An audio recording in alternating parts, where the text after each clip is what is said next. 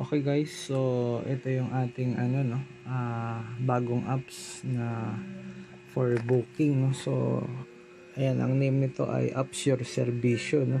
So na kung saan ang walang iba lang naman na bisyo ito ay kundi ang magserbisyo no. So Apps Your Servicio, ang bisyo ay serbisyo.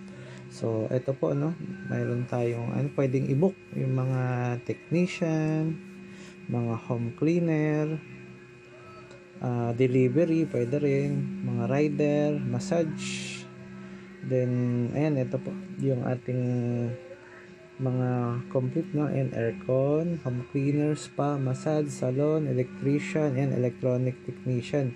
So, ayan, ipina-add ko po yan, no? Para pati tayong mga electronic technician ay pwede na rin na nilang ma-avail, no? Pwede na rin tayong uh, ma-booking no? So almost lahat dito meron no? Service tutor pest control plumber driver shops. Ayan kung gusto nating magpa order no? So parang style ano to grab or something. So delivery yan style lalamove. Automotive blacksmith residential painter graphic artist babysitter laundry halos lahat no? All in one na po itong apps na to na travel and tours photography computer and laptop technician networking technician air conditioning service provider entertainment ayan pet grooming cellphone repair at uh, soon ay madadagdagan pa yan no? Ng iba't iba pang mga uh, mga service provider no? So ang maganda din dito ay ano na to no?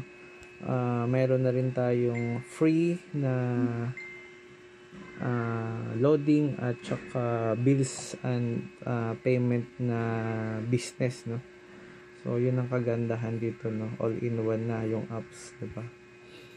So ito yung panglaban natin sa Lalamove, sa TokTok, uh, sa Grab. So maganda dito ay all-in-one uh, apps na. Panglahatan na po. 'Di ba? Ayun. No? Okay. So ayan yung apps natin.